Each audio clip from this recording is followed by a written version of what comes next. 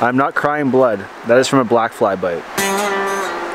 In last week's episode, Noah and Matt started their ascent of the much anticipated Senecal River. They started by tracking their boat, but eventually they were pushed into the woods for some very tough slogging. After two challenging days, they still have a lot of work ahead of them to get to the Aguanish watershed. Welcome to the land of wild rivers.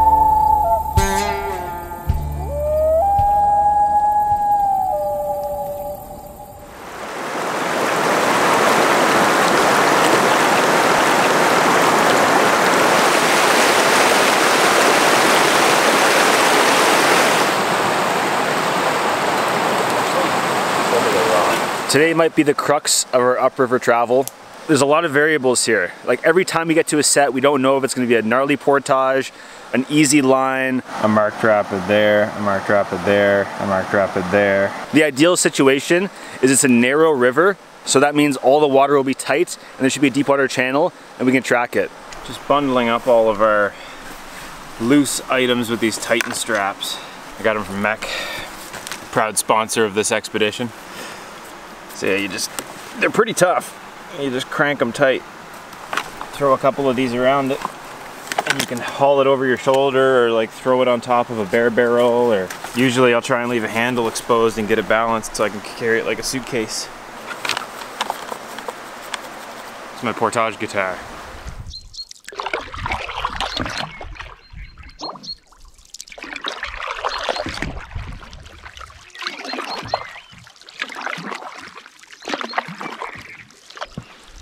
Think we want to find the deep water channel then.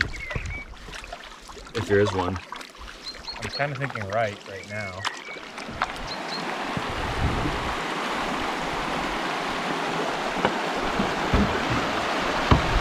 I think there's enough to float the boat. Good. And it's good and deep. Yeah.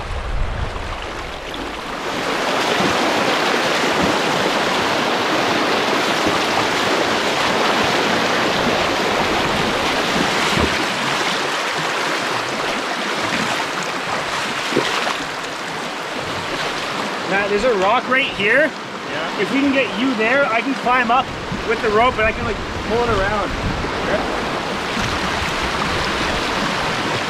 We're making some great progress up this river. There's not a lot of current, which is great, and it hasn't been too bony that we haven't been able to find a line. So we've been slowly walking our boats up, one step at a time.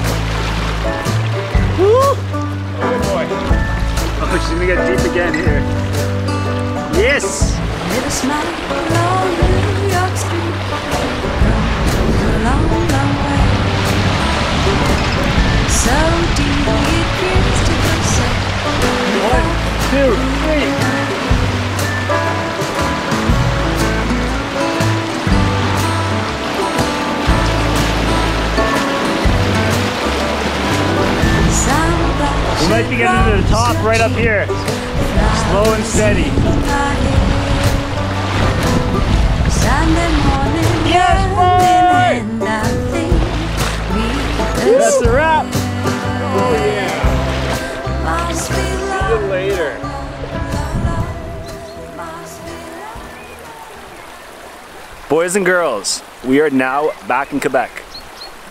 So to put into perspective how long that took, it was about five hours of tracking and dragging our boats. But we take that every time over portaging. Not a lot of energy spent, very relaxing. It's hot outside, so it was actually great to be walking and wading through the river. We're now on the final lake system until we do the height of land and over to the Aguanish watershed. We are getting close, guys. That's a moose.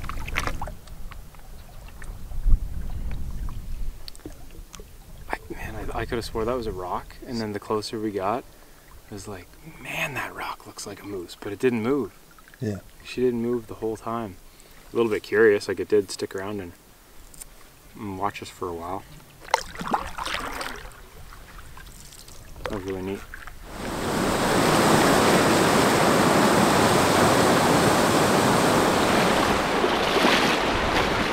Pleasant surprise here. On the map, the river just narrowed. We didn't know it was going to be a waterfall.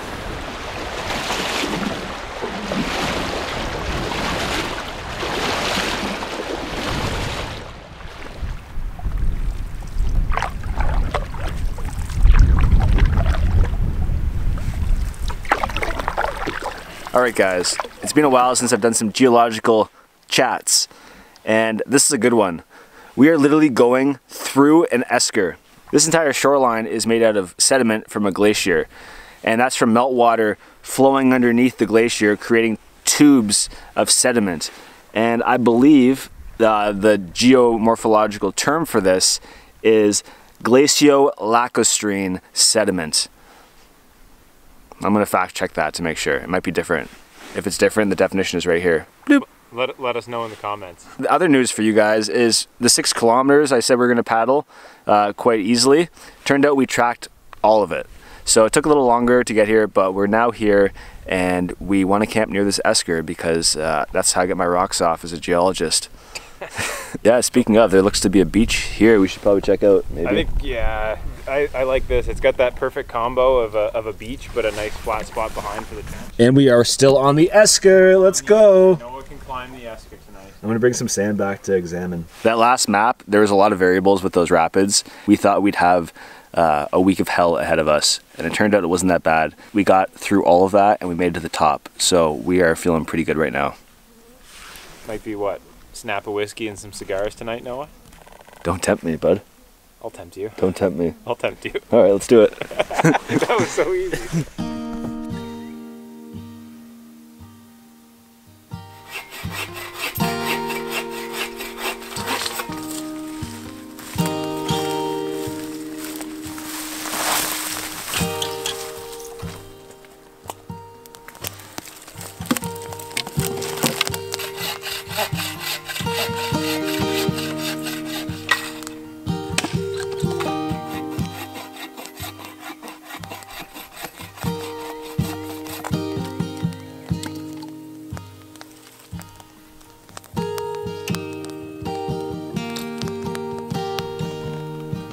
jacked up. Those black flies, man, they get you. They They, they don't give a crap about you or like where you came from or what your family is. They just want blood and they're out here to kill. They're just out, out for blood all the time. They're just out here for blood. We're full of blood, so they love us. That's all we are to them. We're just blood, blood sacks.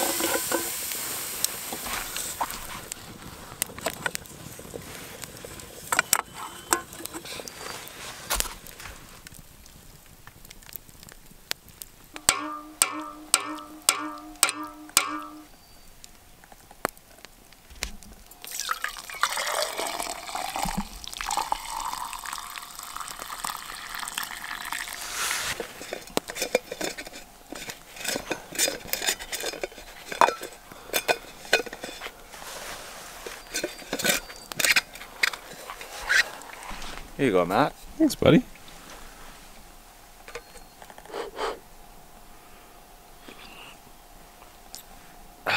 That's some cowboy coffee. We spent a little more time at camp this morning, just sort of relaxing and decompressing. Yesterday, we probably tracked about 10 kilometers of river.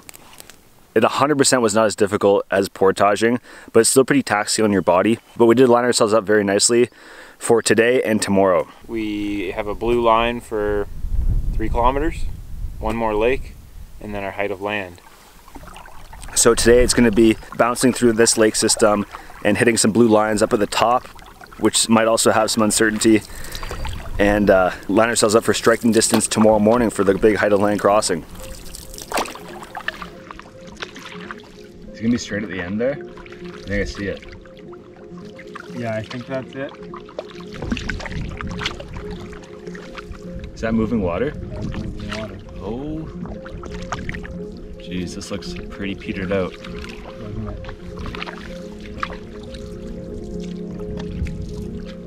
Man, there's depth. It's like a foot and a half deep. We're still alive? It's not as bad as I thought.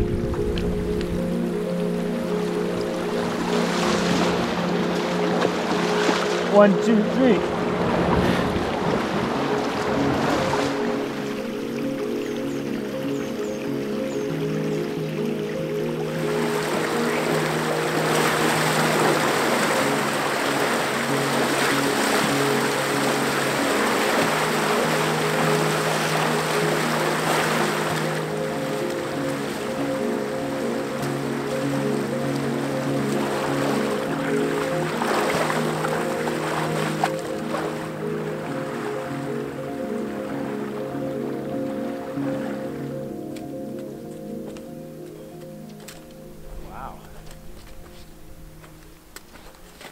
Quite the view. So for lunch today we have some bannock and to add some flavor to this I created bannock bombs. I have a few different types of flavor packs but this one a lot of shredded coconut, cranberry and chia seeds and that adds flavor and also calories. You add your peanut butter and you add your jam, you spread it on top and then you know it's up to the user. You could fold it, you could cut it in half, you could eat it like a pizza, you could, you could eat it like a flatbread panini, whatever you want. But that's that's a lot of weight right there. This is thick stuff. Not much sand in this one. You get any? I had one little kernel. Like I put a lot of effort into not having any sand in that. Man, you're cooking on a beach.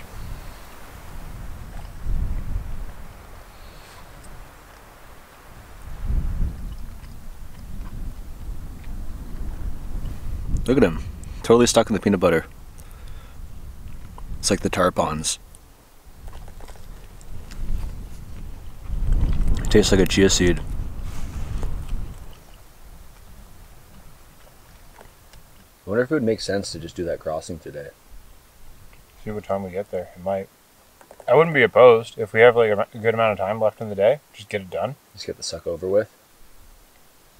Have a whole day the next day to just like lay our stuff out and prep and rest and laundry. I, I totally wouldn't be opposed to just doing it today if we have time. Like give ourselves four hours. I think that's accurate. No, it'll be it'll be a shitty portage for sure. We definitely don't want to get stuck in the middle of it, that's for sure.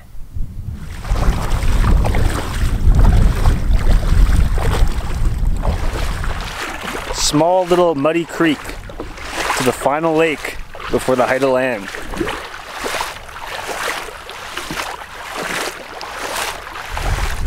Ooh, It's a big lake. it's a big lake. How do you pronounce it? Do you want me to try? Give it a go. Ah, give me a sec. Camino Michimescat, I believe is how it's pronounced. We made it to the lake, boys and girls. Let's go. Come on. We're now on this lake. We're feeling good. We're feeling hot and sexy. We have we're full of bannock. Uh, things are looking good. That away. I'm gonna guess. That is literally the height of land we need to go over. yeah, it is.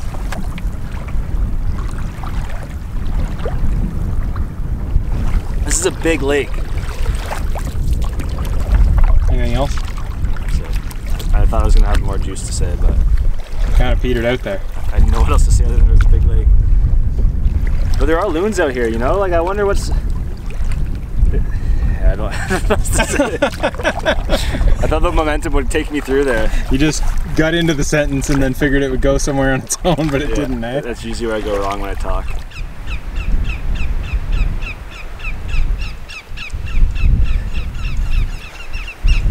Sandpipers are not happy about us being here. No, we're probably standing close to their eggs or something. Yeah, they must have a nest in here somewhere. Behind me here, this is the divide between the last two weeks of travel to the Aguanish, the Aguanish watershed. We have about 400 meters to a small pond, and then we're gonna do another kilometer hop over to the first lake on the other side. We might try to break this apart, get to the pond today, and then do the big crossing tomorrow morning. There's no escaping this, there's no creeks we can take. It's just gonna be a bog, but we're ready. We've been training for this for two weeks. I think I'm ready to go. It's gonna be hard work, that's for sure. Could be worse walking. Three, two, yep, one.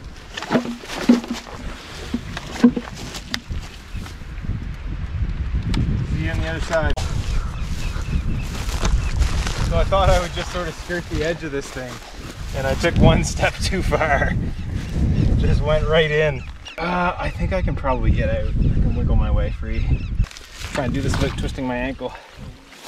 There we go. Free. Free at last. Yeah. I couldn't believe how quickly I sank into that. Yeah, man. The birds fly south as Don't underestimate the bog. Hold on to It'll your get ya. dream. Oh, I know you That tea is thick.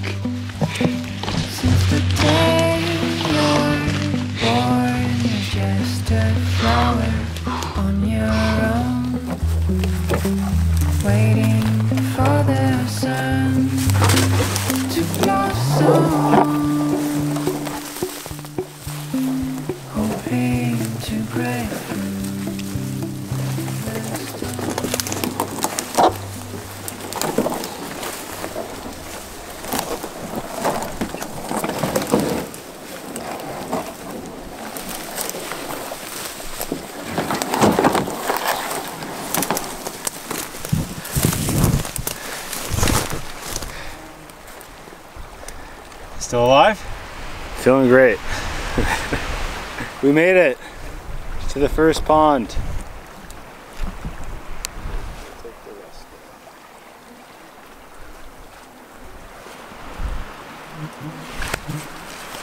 Ah!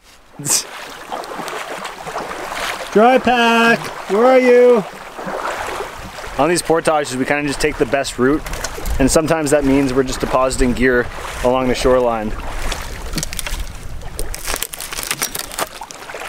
And sometimes we just need to go pick it up after. Oh, you found one?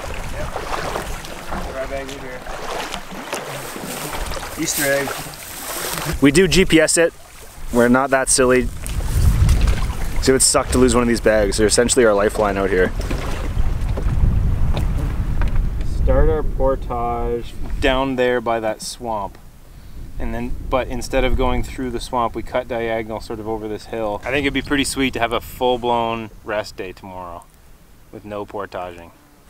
We've been chatting as we paddled this lake, and originally we were going to just camp on it, but there doesn't seem to be much camping here.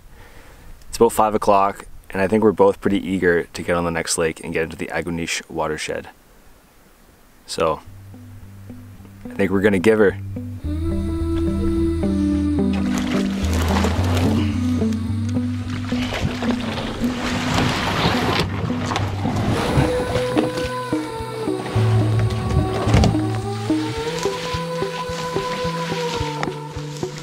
There's a path. These moose passages are great when they go in the right direction.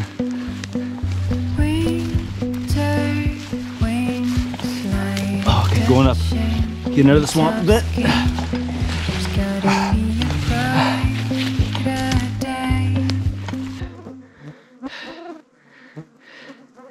Just need a quick break here.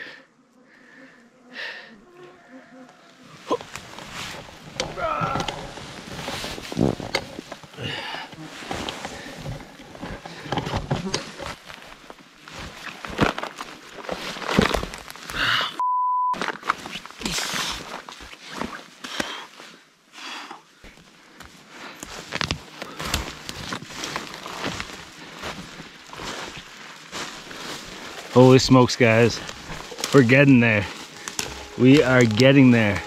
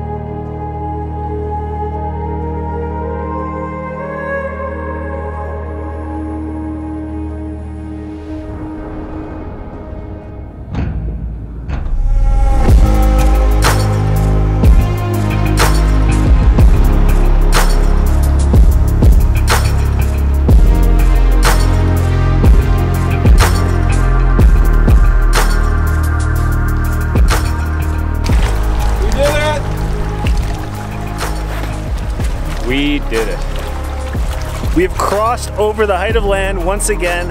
The maze is officially over. We are now on chapter two, the Aguanish. Woo! That was a doozy. Am I still sexy? Oh, baby.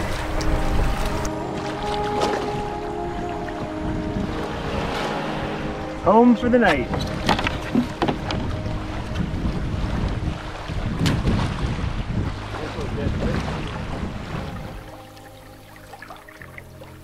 Can't believe we got to this lake.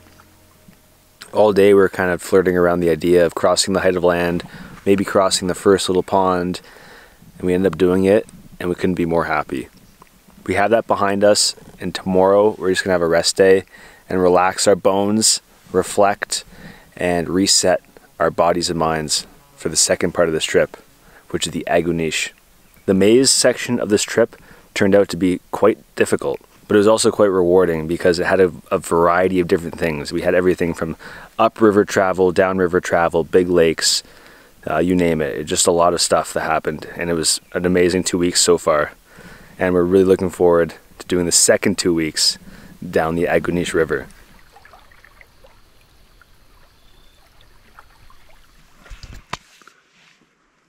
Did you get one? Yeah. Nice. There's a piece of lab tea up here somehow. Oh, that's not. That was like a bunch of mosquitoes clumped up together. really? oh, dude. That was a bunch of mosquitoes eating that blood smear. Look at them. Look at them just like they're They're, converging. they're colonizing. Oh my god. I thought that was a piece of lab tea. Yeah, you got to send this into Nature is Metal. They're all just feasting. Oh, that's so gross. Just thank God that we have this barrier between us and them for a brief period every night.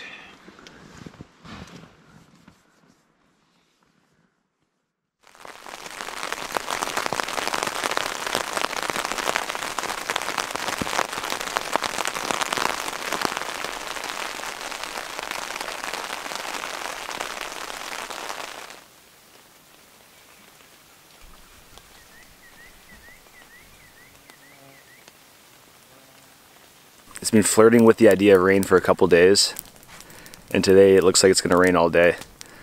But that's all right. This is our rest day. We set up our tarp. We're going to chill and try to do some organizing with our gear. But it is a nice change of pace, relaxing and wet compared to grinding and hot. So you got to enjoy the differences out here.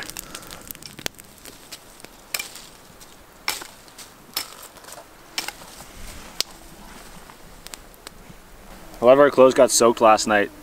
So we're gonna have a drying rack here just to see if we can dry some of those stuff today before packing them up wet tomorrow. I think these are all my cornbreads. You can do your stuff out of the bag. We're halfway done this trip and we have another two weeks until we hit the St. Lawrence. We're now just doing a food inventory to see if we can condense items and see where we're at for the next two weeks worth of food.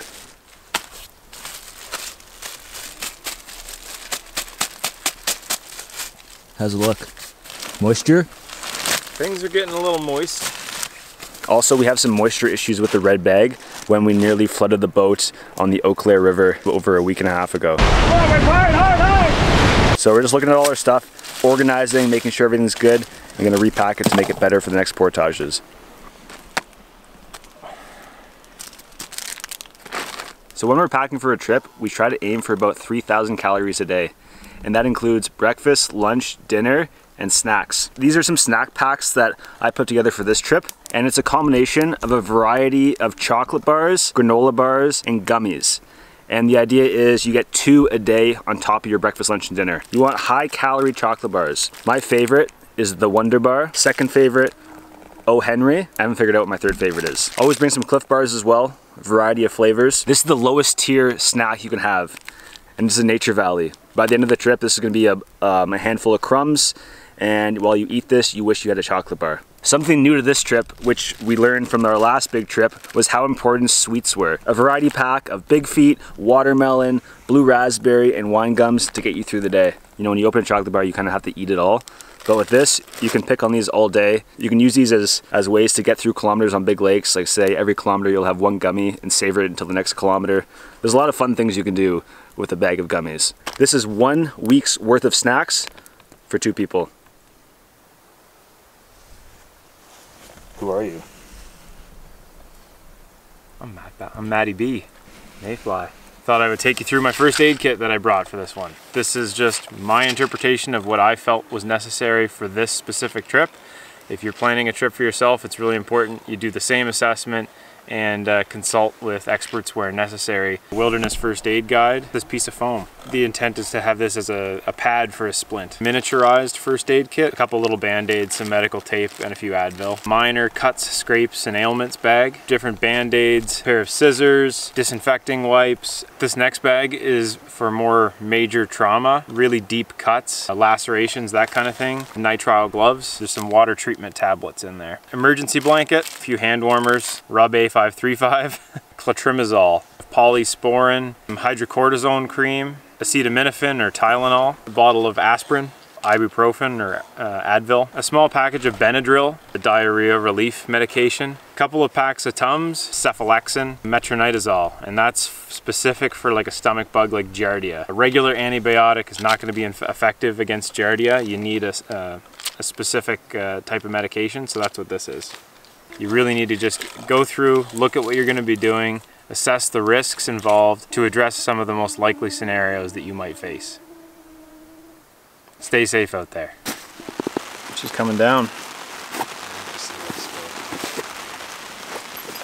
Our undies are getting wet again. Yeah, this has a couple fundamental issues with it. I feel like there's no there's no perfect dry bag. When we load these like extremely heavy for these trips, dude, there's like 70 pounds in here, and when you pull it up, there's so much pressure. Yeah. I don't know, it's just like every dry bag seems to fail. There's room for lots of improvement with carrying gear in the, in the backcountry. Waterproof, durable, man. It has to be bomb proof. And also, this the belt around your waist I don't know why company elementary. I don't know what like even that NRS bag, the heavy duty, it's got like the skinniest little waist belt. It just like bites into you.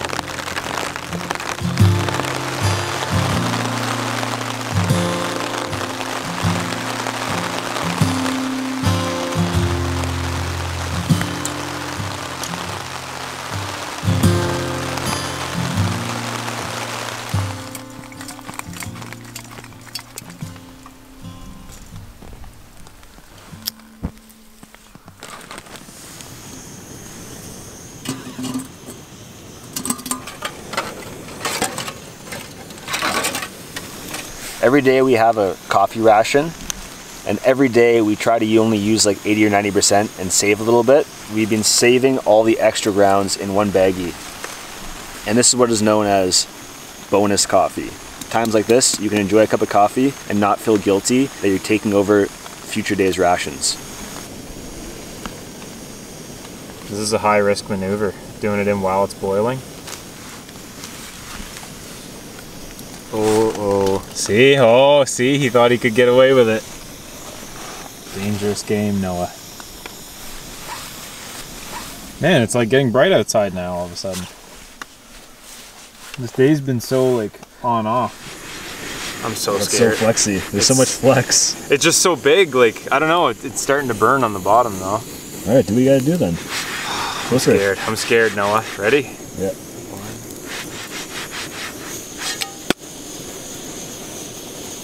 That's. It could be worse. It could be worse. If you were if you were an Olympic judge holding up a sign with a number from one to ten on it right now, what would I get? On the flip, Yeah, on the flip.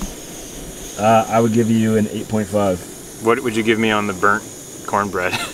Ah, it's just caramelized. It's gonna taste delicious. yeah. That burnt stuff, you just slather that in peanut butter and it's all good. Getting the sand out of there. Yeah, this is gonna be cornmeal, peanut butter jam, leftover oatmeal, and sand for lunch. But the sand ratio is a little high right now. Which lake do you think that sand is from? Is it from this one or is that leftover sand from Black Joe or I don't know. We've been living on beaches every night, so it's hard to tell. And one thing you know about a beach is you take it with you for the rest of your life. This is a slab. it's a hefty piece of cornbread? And I'm just gonna break it up. I kind of like that. I like eating it like a bowl of cereal. Thank you, Matt. You're just gonna go plain the whole way. You're gonna get some uh, topping on there. What's our rations for peanut butter and, and pe- Couple couple and jam? tablespoons per meal. per peanut butter and jam? Yeah. Jam. We should probably go a little lighter. Okay. I'll go one tablespoon of this.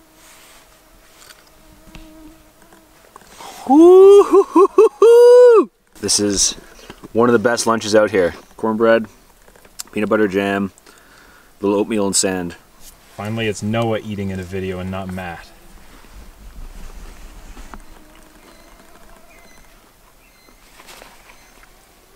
Oh yeah. They're eating me. They're eating me, Noah.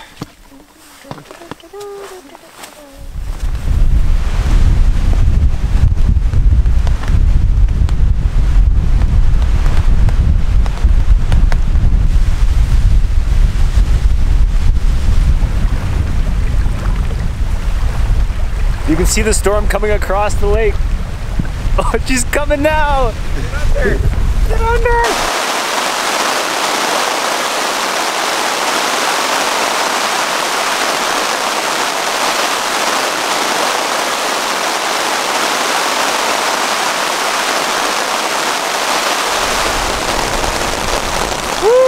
We saw this approaching across the lake.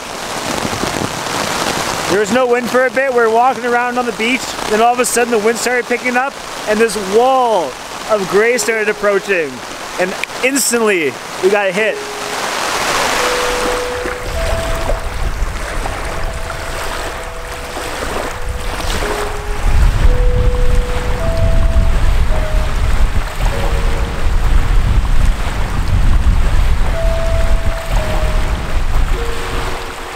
Well, it's getting to about 9 o'clock now, and the rain and wind has persisted all day.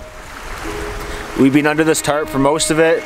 We spent some time in the tent just reading and relaxing. We're about to have some soup and then go to bed. It's a good day for rest. You know, this has been the rainiest and windiest day of the trip yet, so it's really nice it aligned perfectly with our rest day.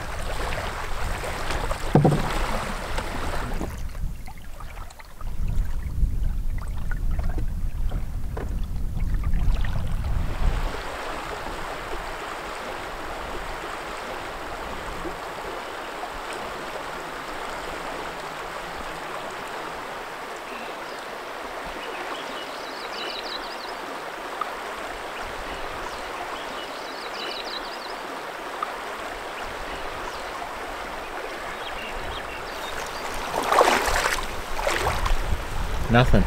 Nothing.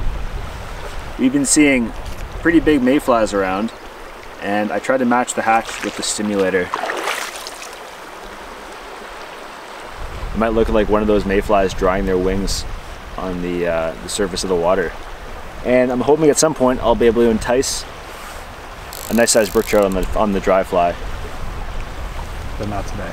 Not today, but we have already lugged these rods for the last 350 kilometers, and this is the first time they're seeing the light. It's one of those things, when the conditions are right, take out the fly, try to get a dry fly bite.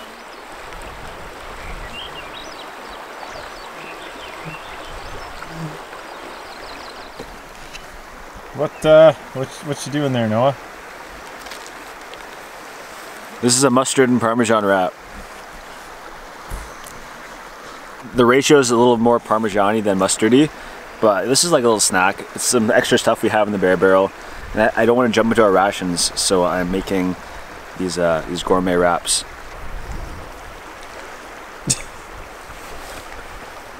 How is it? It's not too bad. There's also sand in there too. a little light. That's all right. You're an enigma, Noah Booth.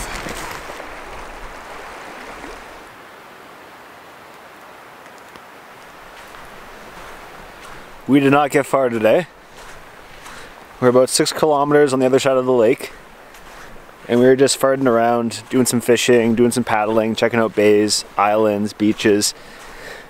And I think we decided that's as far as we're gonna go today. Might be nice to have a little more relaxing day before starting the next big section of this trip. Matt and I were talking yesterday, and we tallied that we've camped on a beach 11 out of 17 times. It's like a beach vacation of the north. Every beach is nice. Every beach has its own characteristics. Some are nicer than others. Sand, particle size has become a big part of our criteria when it comes to a good beach. And depth, the ability to camp off the sand and in the backwoods and be able to have a fire and mess around on the beach. Those are two big things. And length too. It's good to walk the beach too, especially uh, if you need to go do your number your number two business down on the other side. Life's a beach. I'm just sitting here sniffing lab tea. What would you call that? It's a cross between like lemon. Aloe vera, Yeah, a little bit. Irish spring, lemongrass, thyme, rosemary. I've been thinking about this. Have you?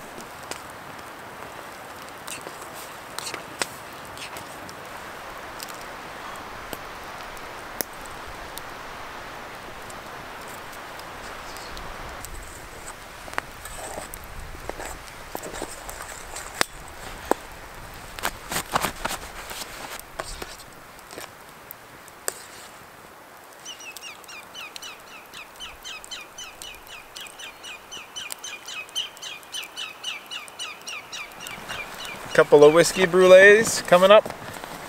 The bar is open. I accept tips. All right. What currency of tips? gummies, chocolate bars, everything except for Nature Valleys, really. The measurement is going to be enough whiskey to cover the gummies. Does that sound like too much? Nope. Is this a fresh bottle? Have we cracked this one yet? We must have. Oh, fresh bottle. Ooh.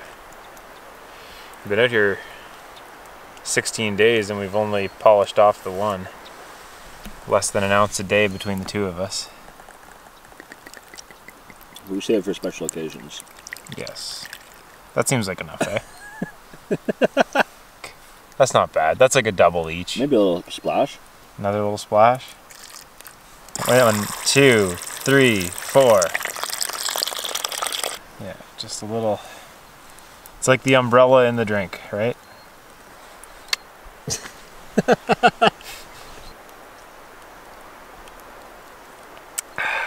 oh yeah. Takes me right back to Lac Brûlé. The liquor's in his bones now, boys and girls. Look out, anything could happen. Keep him away from the fire. He'll be snoring in 15 minutes. I'm gonna sleep right here. I'm gonna get another chapter in, done in this book and be out cold. I like the lab tea touch. Oh, that was nice. I think I'm gonna go like right there. Is that enough flotation for you? Yeah, more than enough. Oh, this hurts. I'm sorry.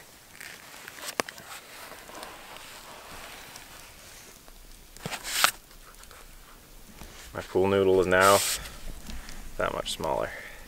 We get a lot of questions about our whitewater setup, specifically the pool noodle that we put on our paddles. Other than being super cool looking, it actually has a very important purpose. When you're whitewater paddling, if you drop anything, it has a tendency to go downriver without you. These paddles that we use, although they float, it is very hard to see them in the water. And I had an incident earlier on on this trip where we were lining the boat and the line kind of looped around the top of my paddle and flipped it in the water.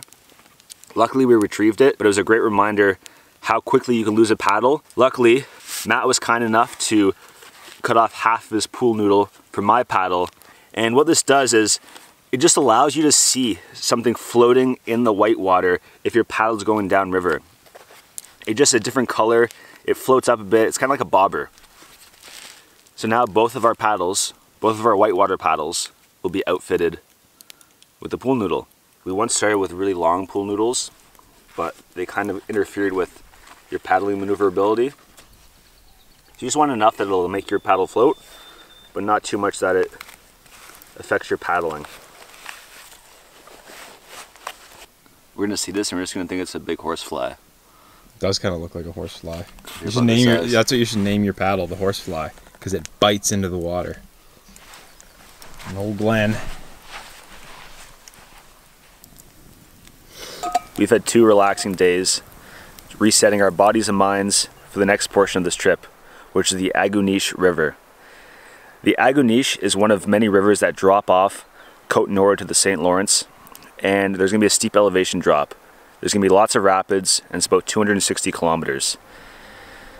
Something like this, Matt and I were thinking that it would be great to have a couple friends join us for this. Northern Scavenger, assemble!